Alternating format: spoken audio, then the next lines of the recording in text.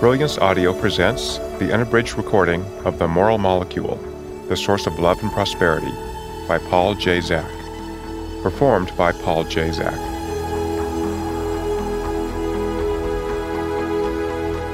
Introduction Vampire Wedding. It was a lovely day for a wedding, the English sun peeking from behind English clouds as the guests gathered in their finest. The ceremony was going to be at Huntsham Court, a Victorian manor house out in Devon, and it was set to begin in 10 minutes. I was supposed to have shown up an hour ago. I parked my rented Vauxhall in the gravel courtyard, left the engine running, jumped out in my lab coat for an immediate reconnoiter, then commandeered a guest to help me carry in the 150 pound centrifuge and 30 kilos of dry ice I'd brought with me in the car. With a second trip, I carried in the syringes, 156 pre labeled test tubes, tourniquets, alcohol preps, and band aids that I'd shipped from California. The plan I'd worked out with Linda Geddes, the bride, was to take two samples one blood draw immediately before the vows, and one immediately after, from a cross section of friends and family in attendance. Within the wedding party itself, Linda's father was the only holdout. The mother of the groom had been ill, so he gave her a pass. Now, taking blood at weddings is not a long standing tradition in this part of England, or anywhere else that I know of.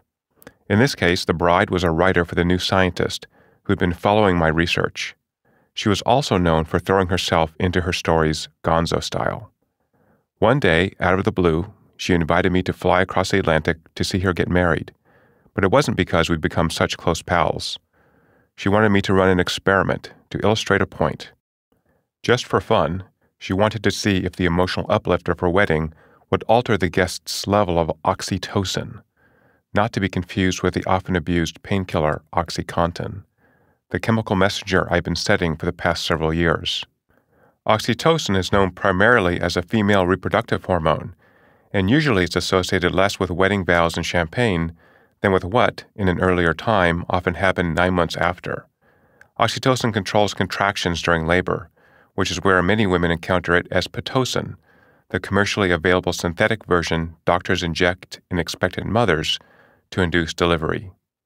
Oxytocin is also responsible for the calm, focused attention mothers relish on their babies while breastfeeding. Then again, oxytocin is well represented, we hope, on wedding nights because it helps create the warm glow both women and men feel during sex, or a massage, or even a hug. Linda hadn't reached out to me because of anything new I had to say about oxytocin as the birth hormone or the cuddle hormone, but because of an entirely different role I discovered for it. My research had demonstrated that this chemical messenger, both in the brain and in the blood, is, in fact, the key to moral behavior, not just in our intimate relationships, but also in our business dealings, in politics, in society at large. Which is a point I realize that might take some getting used to. Am I actually saying that a single molecule, and, by the way, a chemical substance that scientists like me can manipulate in a lab, accounts for why some people give freely of themselves and others are cold hearted bastards? Why some people cheat and steal and others you can trust with your life?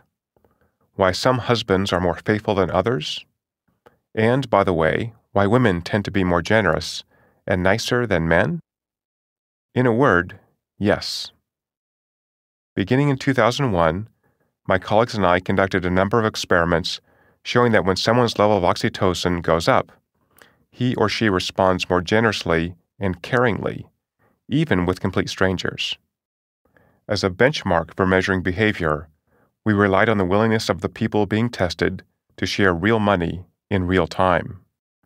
To measure the increase in oxytocin, we took their blood and analyzed it.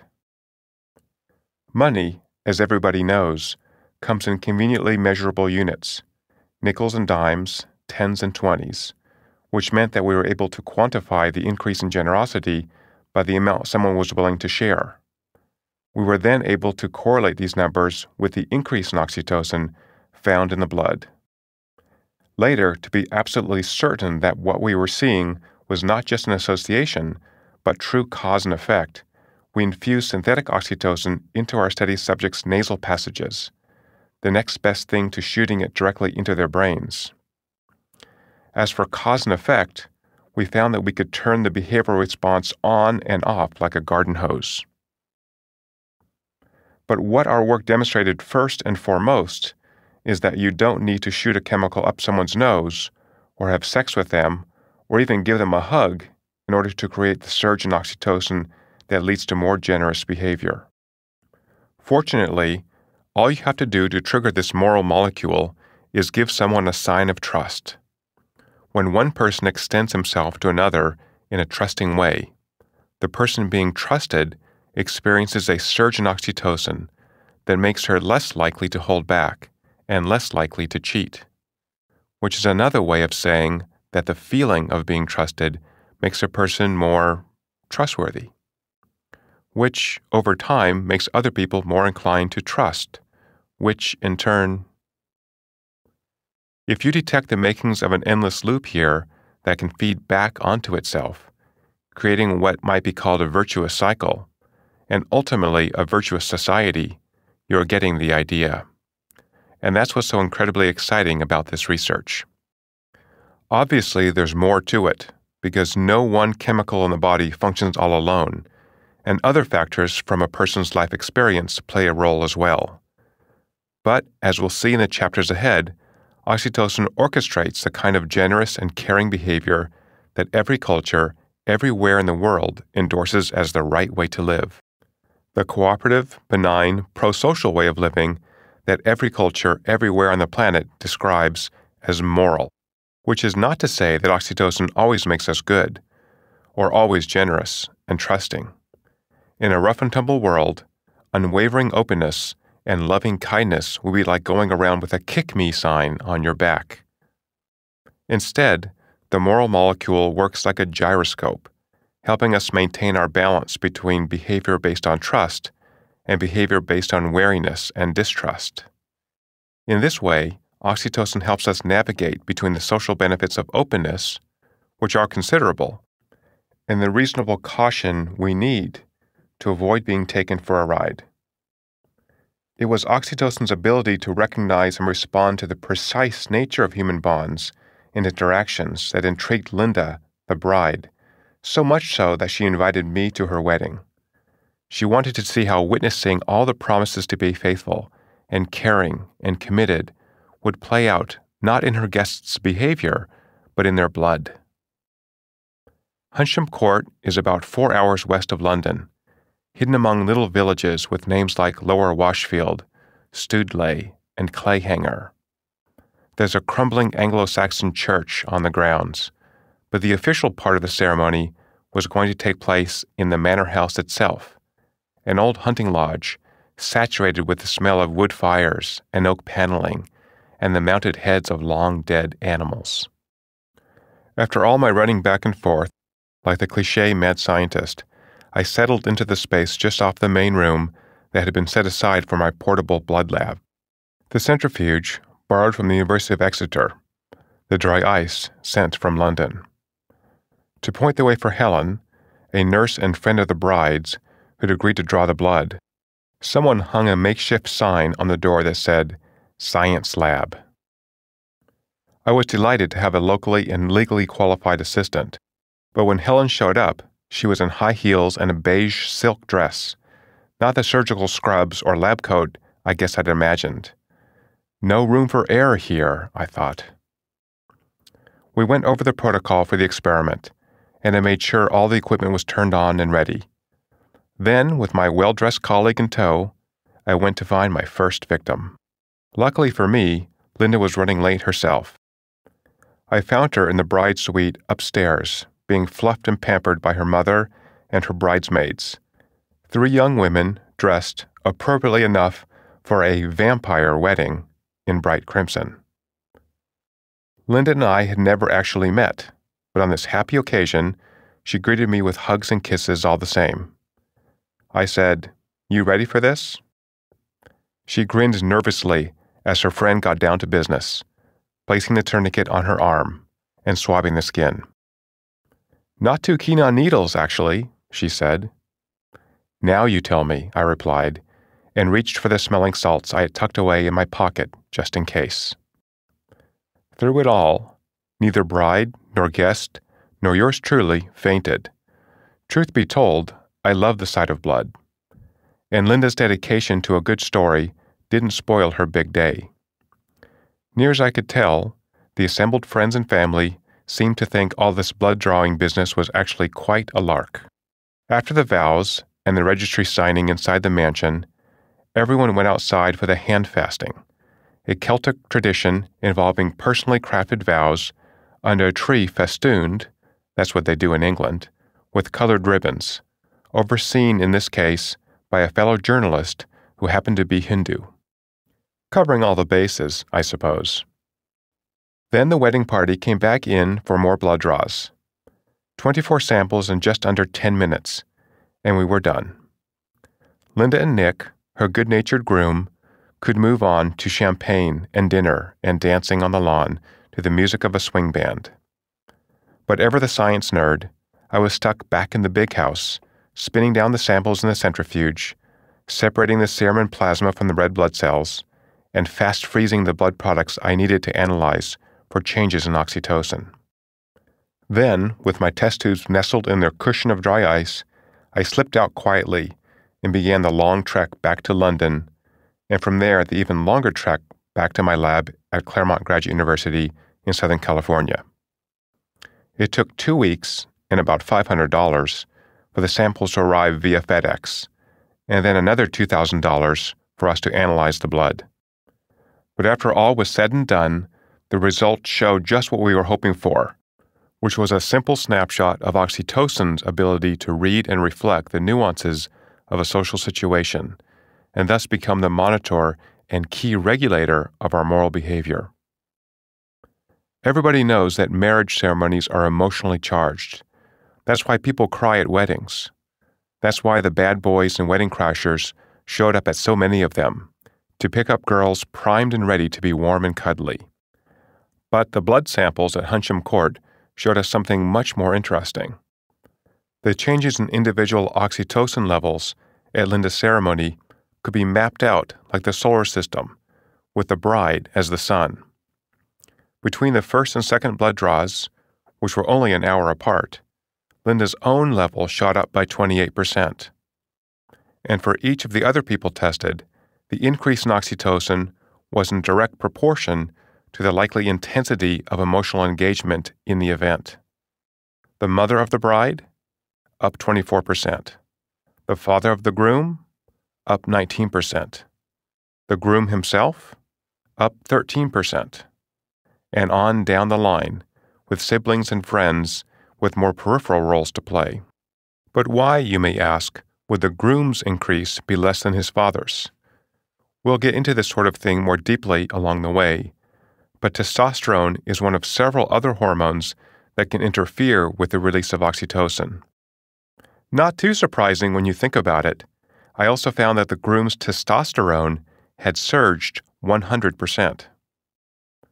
Our little study at the wedding had demonstrated, on the hoof, just a kind of graded and contingent sensitivity that allows oxytocin to guide us between trust and wariness, generosity and self protection, not only in response to the official nature of relationships my mother, my son in law, my dreaded classmate, a complete stranger, but in response to social cues in the moment.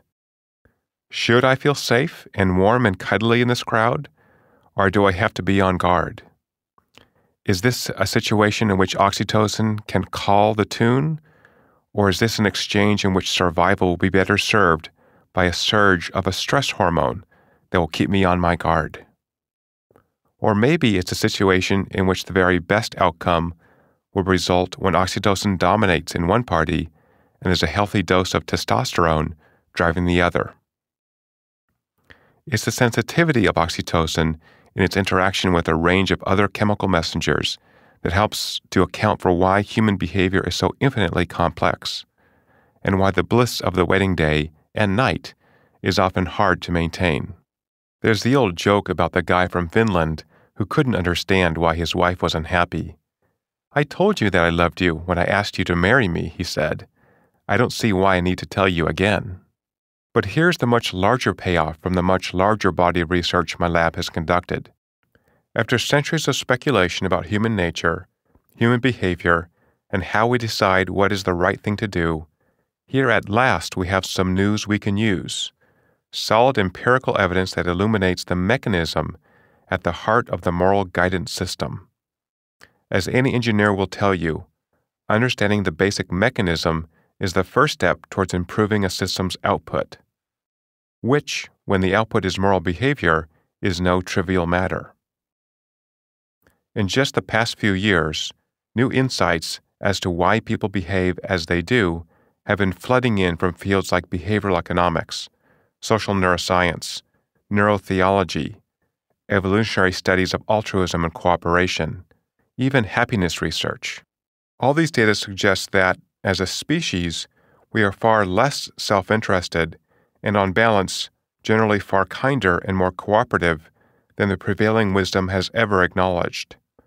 But up until now, this scientifically enhanced insight into human nature, the good as well as the bad, still beg the question given that humans can be both rational and irrational, ruthlessly depraved and immensely kind, shamefully self interested, as well as completely selfless, what specifically determines which aspect of our nature will be expressed when? When do we trust and when do we remain wary? When do we give of ourselves and when do we hold back? The answer lies in the release of oxytocin. Oxytocin surges when people are shown a sign of trust and or when something engages what was once called our sympathies, which is what we now call empathy. I'll delve into how empathy does its thing in chapter 4. When oxytocin surges, people behave in ways that are kinder, more generous, more cooperative, and more caring. But when scientists call these behaviors pro social, that's actually just a geek speak way of saying that they follow the golden rule do unto others as you would have them do unto you. This book is going to show you why this oxytocin effect happens, when it happens, and how we can make it happen more often. The fact that the moral molecule pries open the black box of human nature doesn't mean that there's nothing left for the philosophers and theologians to wrestle over. It's just that any discussion of free will or virtue seems a little pointless if it doesn't take into account everything science can contribute. And we've learned quite a lot since those early prophets tried to define what God wanted us to do, and the philosophers tried to figure it out through the power of reason. After all the theological debates and all the philosophical discourse, and all the new evidence, one thing we know for sure is that humans are intensely social creatures. The human brain reacts more intensely to a human face than to any other object in the universe. That's because survival during our first years of life is entirely dependent on the goodwill of others, namely our parents, and their willingness to invest resources in us. Even after we're old enough to provide for ourselves, we continue to depend on a web of social cooperation to stay alive and healthy. We are, in fact, what zoologists call an obligatorily gregarious species, meaning that we thrive in groups and that we don't do well, either physically or emotionally, for long periods alone.